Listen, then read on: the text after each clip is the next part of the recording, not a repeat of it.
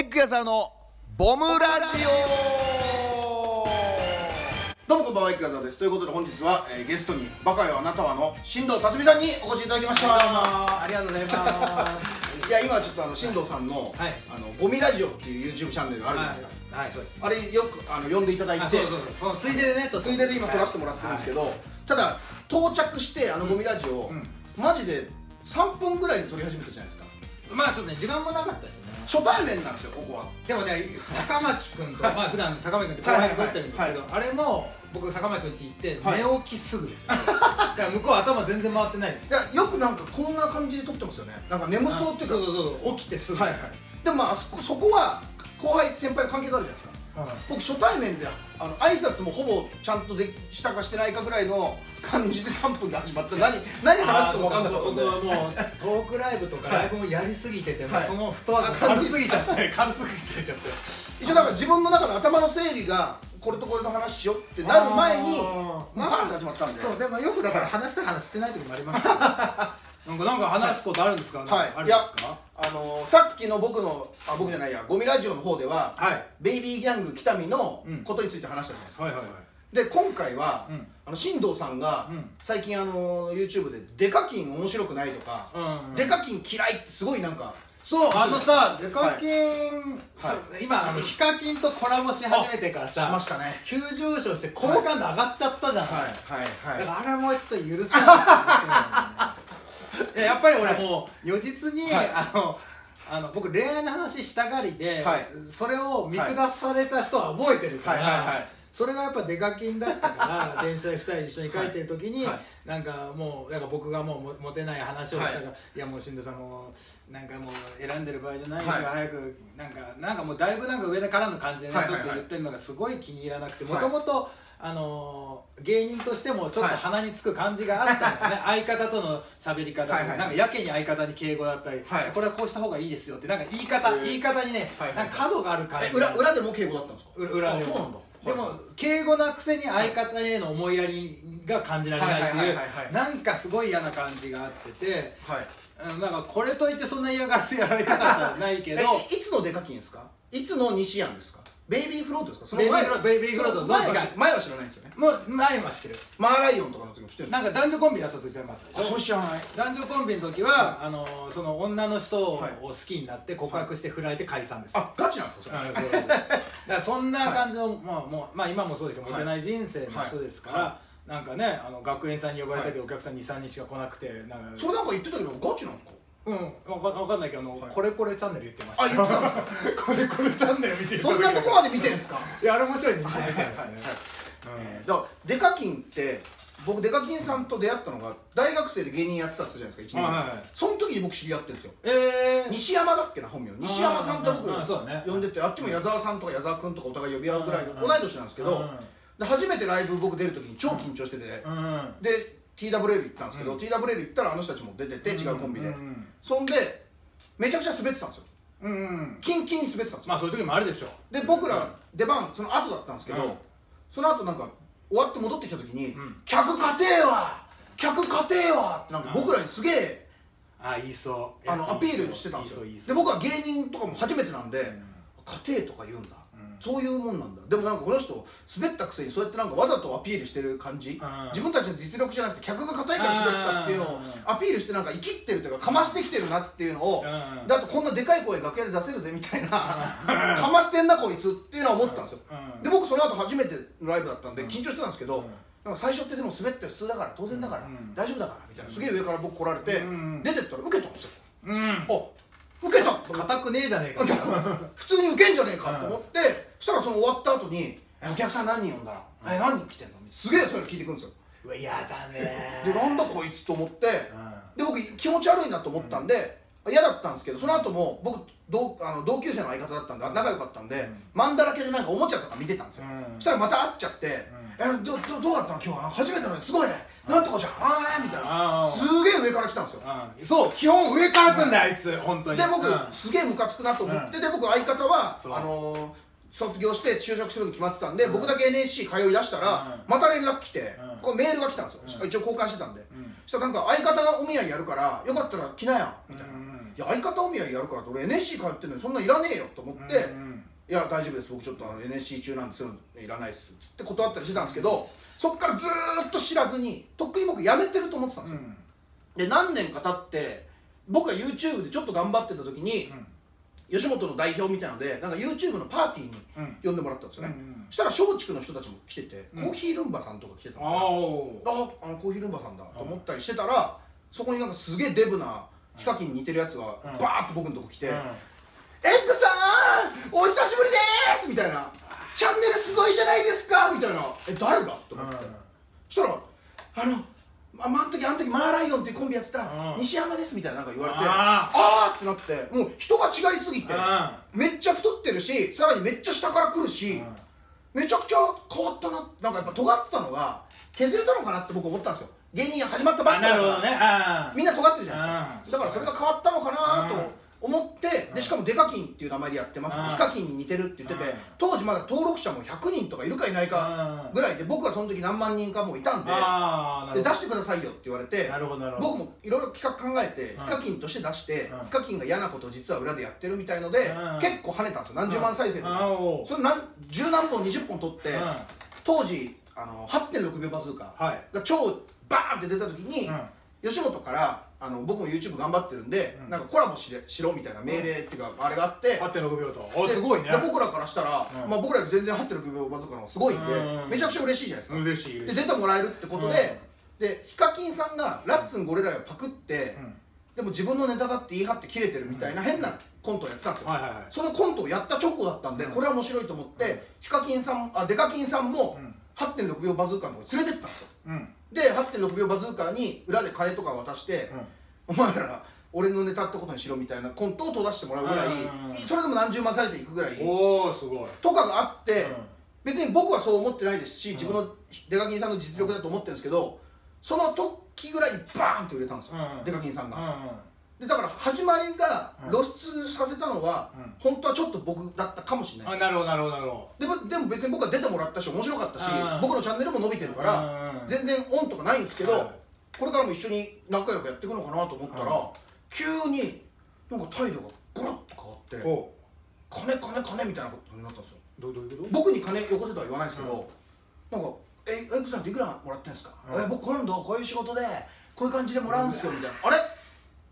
デカキンいいやつのデカキンだ」に変わったはずだったのに、まああいつにいいやつの時代は あれずーっとそれが彼だ西安に戻ってるうんと思って。で僕でも仲良くしてたしあんま悪口言わないようにしてたんですよ。うん。あの後輩たちも僕の後輩たちも一緒にやってるんで、うん。僕が悪口言ったらみんなやっぱそうなっちゃうじゃないですか、うん。で言わないようにしてたのに後輩たちがもう怒り出してうん「エッグさんもうあいつおかしくないですか?」ってエッグさんにいろいろやってもらって人気出たら、うん。こんなこと言い出すんですか、うん。金金とか仕事とかでそれと僕の後輩なんかもう仕事なんかゼロのやつらなんで、うん。そいつらに給料いくらもらってるなんて聞いてもしょうがないじゃないですか、うん。だから自分がいくらって言いたいから、うん。いくらもらってんの、えうん。俺そうなんだよかわいそうだね俺はいくらみたいな感じで、バンバが言い始めたみたいので、そうだそれも笑いにならない感じですよねあいつのことだからね。で最終的にライブ僕のライブとかも何回か出てもらったからしてたんですけど、うん出てくれますか？ってまたお願いしたらあじゃあ事務所に確認しますみたいな。事務所に確認もねえだろバーカと思ったんですけど、うん。そんなそんなもんじゃねえだろ。別にできるじゃないですか、うんそうだね。吉本でも吉本はちょっと厳しいですけど他のまあ事務所なら、確かに面倒くさがる人事務所に確認しますで逃げる人いるよね。いやでも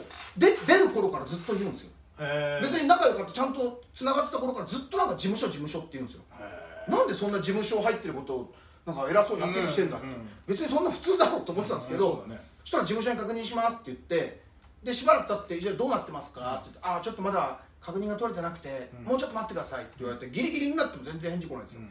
だからこれどうなってんだろう？まさかバックれるつもりか？って思って、もう23日前にライブのうん「すいませんどうですか?」って聞いてから音信なしなんですよ。音信不通で、えそこからもう4年ぐらい経つんですえー、4年も経つんだ。オリンピック。だから僕は悪口とかあんまり言ってないんですよデカキンの、デカキンの、はい。デカキンは悪口言うためにある。からねだから進藤さんが言ってたみたいに、うん。いやぎ偽善者というかいいやつじゃないんですよ。あでもいいよ。YouTube 見てるバカなガキどもは騙されまくってるんですよね。うん、まあ一応まあそれも仕事だからはい。しょうがないっちゃしょうがないけど、まあそう露骨だよねなんか。で嘘泣きしてるじゃないですか。あ嘘泣きもするし、、はいやあのヒカキンも騙されたもんですねだからあの辺にはだから北見と一緒ですよ。今思った北見とデカキンリンクしまいしたよ。や俺は北見さんを応援する。なんでなんですか？好きでも嫌いでもないのに。なぜならかっこいいから。憧れですか？あでも俺多分ああなりたかったのちょっとあったのかもしんない。あだからその不良に憧れたみたいな言ってましたもんね。そうそうそうそうそういやだからその 嘘でも人殺したっつって、はい。説得力になる存在であ,、あったっていうのはすごいなと。北見の話ですよね北うん見のデカキンは言ってないですからねデカキンも言ったんじゃいないや言ってないですよ。あいつは本当に殺してるいやそそんなそれはやめよう。それは名誉毀損で訴えられたら負けますからね今のはデカキン人殺したなんて一言も自分で言ってないんですから。ああそうそうはい。そうそうだけど。いやもともと芸人でやってるからね、どのぐらいまで対応してくれるのかなと思って、まあ一応その YouTuber の中ではね、はい。対応できてる方みたいなね、はいはい。出かけになってます。はい。まあそのまあそえーげ北見さんに至っては、ぼだって僕が人殺したっつっても全然説得力にならないですよ。ねはいはいはいはい。だからやっぱちょっと羨ましいんだろうね、俺は北見さんに関して。デカキンも羨ましいんですか？出かけはでも直接ちょっと嫌がらせされたから それはないけど。はいはいはいで多分北見さん今出てないからなんかちょっとどうなのかなってああはいはいはい。気になるなって、はいはい。出かけはもうガンガン出てるそうですね。金稼いでますからね。うん、でヒカキンのコラボなんてもう、はい。ヤフーニュースに載ったりとか僕はいはい。はいも見ましたし、はい。あなんかそれ見ちゃうよね、はいそこら辺はね。でも僕もちょっとおこぼれもらって、ん。僕デカキンの動画デカキンさんの動画2 3 0本あるんですよ、ま一緒に出てるのが、うん。それがあの今頃になって ボンって伸びてあそう。あの何千円かぐらい入ってきましたよ。何千円か ちゃんとデカキンって書いてなかったんですよ。僕え。えヒカキンさんってわざと書いてそっくりさんじゃなくて見るやつが騙されてもいいように今だけタイトル書き出したこの間、うん。ドンってちょんと数千円上がった時に、あ今がチャンスだと思って、珍しくタイトルとか変えたんですよ。全然もう遅くて。あそう。ニュースの直後ぐらいにあ、ニュースの前とかその時やりゃいいんですけど、1日2日経っちゃってたんでもうみんな見なくなってて。い。やーそうね。まあ、まあ嫌な人は嫌な人だからな。だと YouTuber のうん。お笑い芸人ぶるの嫌いみたいなの言ってましたよね。言ってませんでしたああ嫌い嫌い嫌い嫌い。あれは僕も思うんですよ、うん。僕も僕もどの口で言ってんだってどどこの立場か僕も分かんないですけど自分で。そうだね。あなたも何者かよくわかんないからね。ら今僕って何者なのかなっていうのもありますし芸人っていうだからその、はい。なんだこれも難しいのははい。別に、じゃあ面白いこと言っちゃいけないのかボケちゃいけないのか突っ込んじゃいけない、そんはないことはなはいはいはいはいくとりあえず手前で遊ぶ感じでなんかはい。芸人というはいものを使って、はい。なんかやられるのはちょっと嫌だな、侮辱されてる感じ嫌だなって。だ別別に別に僕一人が言ってるからやってもいいんだろうけど、全然ね。デカキンさんが初めてうツッコミができる YouTuber みたいなポジションになったんんですよ、うんだからみんな嬉しかったんですよね、YouTuber は今までボケても突っ込んでくれる人なんかいないんで、うん。変な感じになってたし、うん。ツッコミがあっても「何言ってんだよ!」みたいななんか下手くそなやつだったのがデカキンが現れて、まあ、突っ込んでくれるんでだからいろんなう。ん YouTuber が、ただこのはい。言いたいのが、はい。このまあ YouTuber と動画って、はい。まあこの形もそうですけど、はい。お客さん入れてない形で、この普通ショショットだったりのこのアップで撮はい。る形が多いじゃないですか、はい。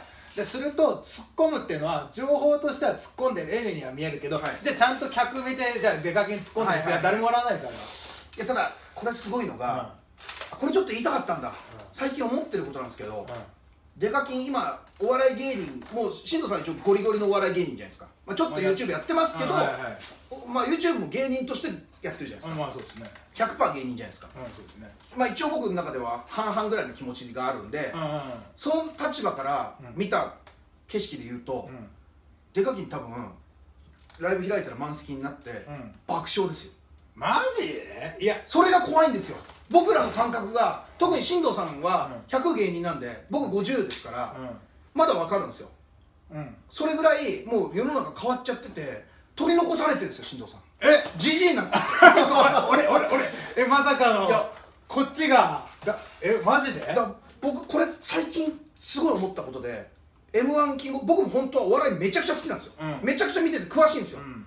でも毎年だからコンビでもないけどちゃんと見るんですよ全部のコンテスト、うん。一番 r 1が嫌いなぐらいですし r 1もほ見ないぐらいですから。嫌いなんで。あまあそんなのでやる m 1キングオブコント僕はもともとコンビになりたかったんで、うん本当は。憧れからもずっとすごいちゃんと見て分析するんですけうんど今年え去年か、うん。花子とうん。霜降りでしたよね。キングオブコント花子で、うん。えー M1 が霜降り。だったじゃないですか、あれ見た時にあもう優勝するのは分かったんですよ。もちろん、うん。に1本目と2本目のなるほどなるほど。あここが優勝だな。その好き嫌いとかそういうのは結構圧倒的受けてるからね。そう。抜きにして、うん。あこれも優勝だっていうのは分かったんですけど、うん。で面白い感じなのもなんとなく分かるんですけど、なんか一個も刺さんなかったんですよ。ほあれ？と思って。なんでこんな受けてんだ？って、普通見ててもちろんそういう芸人っているじゃないですか、うん。僕らが笑わないけどお客さん笑うとか、うん。でもなんとなく分かるじゃないですか。メカニズムというか、うん。こういう客でこういううん。笑いだからうん。笑うんだろう、うん。それがなんかよく分かんないんですよ。なんとかなんとかのなんとかみたいなこと言うじゃないですか、うん。あの粗品が、何が面白いか全然分かんなくて。えでなんかパパパパパパンってえネタが入ってきて、スピードも速かったからね。でなんかついていけなかった、うん。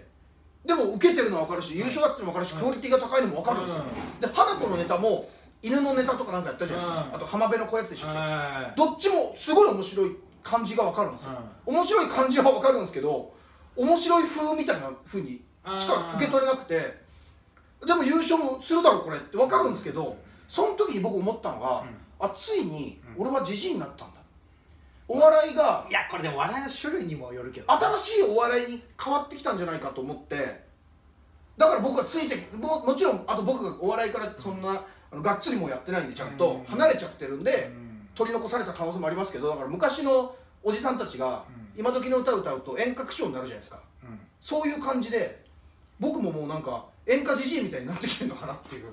あだから例えば、はい。キングオブコントだったら東京03とか m 1だったらブラックマヨネーズの方が例えば面白いと言ったところで、はい。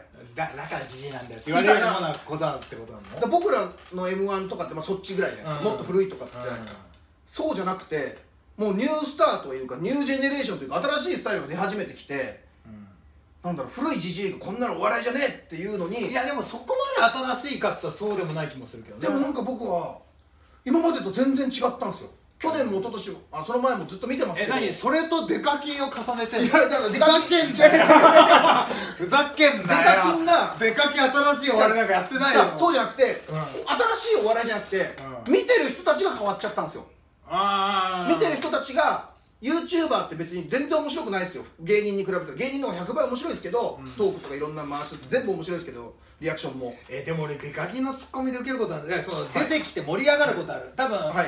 その埋まる埋まらないも分かんないけど、はい。い、ろんなゲストとかもいたらさ、はい。埋めることもできるだろうし、はい。会話の端々で受けるところはい。はあるとは思うけど、はい。それは本人たちの自覚する以外のところでそんなにツッコミでそれその現象は起きない。絶対起きない。だからもうそこから多分獅童さんずれてじじいになってるのが、えー？あのあれなんですよ。マジあの受けるじゃないんですよもう時代は。TikTok みたいなことなんですよ。なんだって？盛り上がるでいいんですよ。あなるほど。その盛り上がるをう芸人はうん。馬鹿にされてるとか笑われてるとか思ってないところで受けてるから違うっていうふうに思うじゃないですか。で加点されないじゃないですか自分の気持ちが。アメリカ式じゃん。だからもう変わってきちゃってるんですよ。で YouTube のやつは本当そうっすよ僕なんか基本的にいじられる方なんですよ。めちゃくちゃボロクソにいじられて受けたりするタイプだったんですよ芸人で。あそうだったんだ。でずーっとそうやってやってきたのに YouTube 始めたらやっぱ後輩と一緒にバカな後輩もっとバカな後輩と一緒にやってたんで、うん。いつの間にか僕が仕切るようになって、うん僕が突っ込んだりやるんですけど、うん回したりするんですけど、うん全然うまくないのにやっぱ YouTube の中だとエッグさん天才になるんですよ。ちゃんとできるやつがあなるほどね。いないんで。うんで僕がライブやれば満席になりましたし当時。で全然グッダグダのライブでやっても盛り上がってたんですよ。なるほど。受けてる、まあ、僕の場合一応芸人っていうのもあるんで、うん。受けてる部分もありますけど、うん。なんか盛り上がってる感。うん。何やってもとなんかアイドルじゃないですけど みたいな雰囲気にちょっとなってきててデカキンもそっちサイドになってきてる。お笑いが取り残されてるかもしれないですね。えーでもちょっと実際にイベント開いてそれを見てみない限りその信用できないな。いや呼んでも絶対来ないですよここ。デカキンは。あ出かけはじゃなくてその、はい開いてくれ。俺はチケット買っていきます。そんな見たいんですか？いやそそんなそんな盛り上がってるっていう現象を見てみたい、多分だから超有マホトってわかります？イケメン系の、はい。マホトが例えば最近ウームに入ってるあそうそうそう。あれも超ダサかったなって僕思うんですけど、うあんな尖っててウームバカにしてたのになんでウーム入んだよって話なんですけどおまあまあそのマホトとかが多分、ん。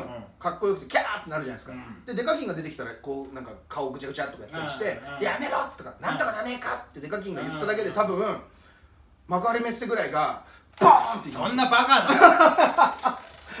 いや今そういうだからもうなんだろう。で YouTube でやってればやってるほど思ったのがこっちが練りに練って本格的に頑張って頑張って作った動画ほど受けないんですよね。ああまあまあまあまあそういうのあるかもね。ちょっとた誰もみんなが食べれない遠くの秘境のラーメン屋行くよりもその辺の日高屋では新メニューですっつった方が伸びるみたいな。でもやっぱ大衆性ってそういうことだからね、そういう飲み水で作り込まれたものが大衆性じゃないからね、それは分かるわかる。それネタもそうだって本当に1000人のお客さんを笑わせたい時はどうするかってこだわりをある程度一定以上捨てるっていうのは大事だったりするから。それは分かる分かる。バカヨさんはネタ的にはうん。こだわり強いですよねめちゃくちゃ。いやそれでも捨ててますよ。あまあさすがに一応あれ以上いくとちょっとアングラすぎちゃう気もするんですよ。うん本当はもっとアングラなのですよね多分。で割と向こうがメジャー志向なので、はい。あそれの調子で、はいはいはい。多分なんとかなあってるう。うまくいってるんですか？だから向こうはやばいセリフとかはい。変な設定はあんま好まないから、そうなんですね。俺なんかもう引くようなの 好きだから。何でしたっけ？ずーっと同じセリフ連呼する何でしたっけ？あなんとか。あ大丈夫大丈夫とかやっぱああいうのとかで、うん。もう結構狂気じめてるじゃないですか。最高なネタですけどあれを一応ポップ側に持ってきて僕らが普通に一般の人も見て笑えるってすごいなって思いますよね。まあねでも言っても大丈夫って言葉はね チンコチンコって言ってるわけないからね。まだいいよねそれはね。あまさか後半に来てなんかデカキンの方が正しいみたいになってなんか切ないな。いやだからちょっとだから、うん。あの北見は悪いやつですけど一方的に悪いやつですけどえ？あのあのなんだ、うん。落としめられまあ慣れたからね。人間ですまあ、けど、そうそれで言うとそうだからね。デカゲンはその、はい。人間的なダメだけど、はい。犯罪でもないし、まあまあもちろん。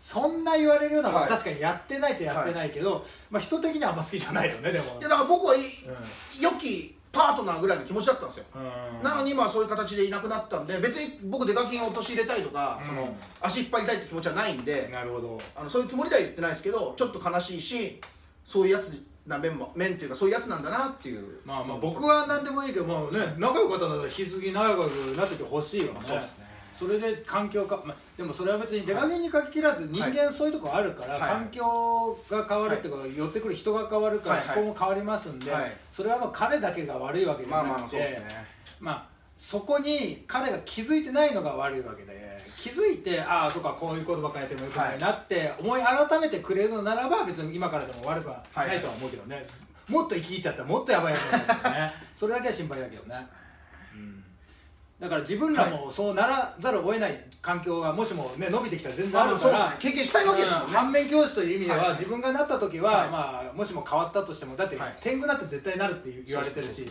天狗になった時じゃあ何が一番正しい行動になるのかって時に、はい。天狗になるのは一番自分で気づくっていうのが一番大事だって気づかないとずっと言っちゃうから、はい。まあ、しょうがないですよ。天狗になったりとかやっぱだって今デカゲンがた仮に偉そうでもしょうがないと思う、はいはいはい今頃もう落ち着いてるかもしれないですけどね、うんもうだってなってりゃいいけどね。バーンって言ってからもう3年ぐらい経ってるんで三いやいやもっと経ってるから4年ぐらい経ってるんじゃないですか。いやでもやっぱヒカキンとのコラボはつい最近の話だからもっと、あれもだからすごいのがうあの僕ウーム NG 食らってるんですよ。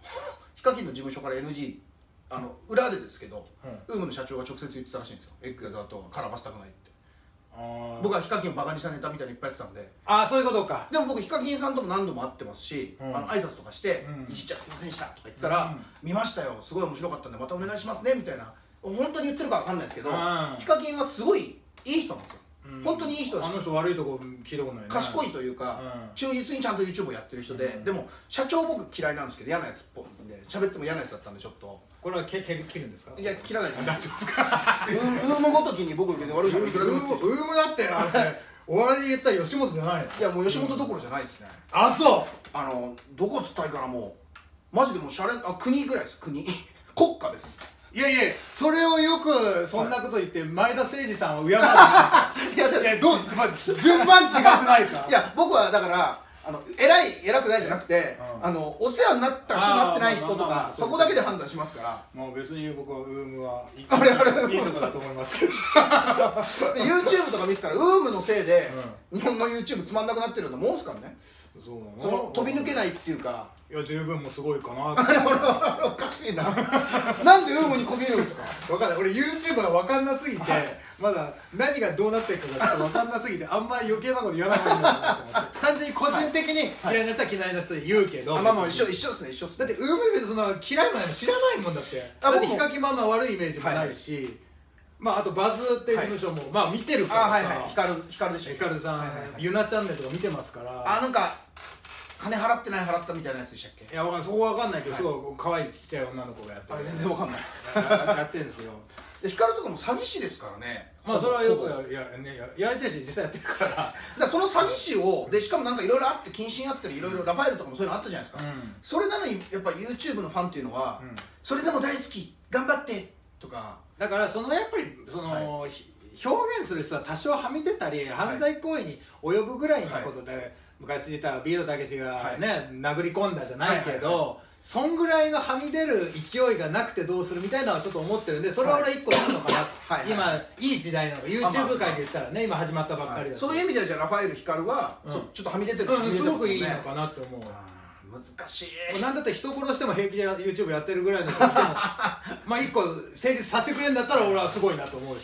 人殺した人が YouTuber とかまあ面白いっつっていいかわかんないですけど、うん。見てみたいっちゃ見てみたいですよね。まあそんなの全然いそう。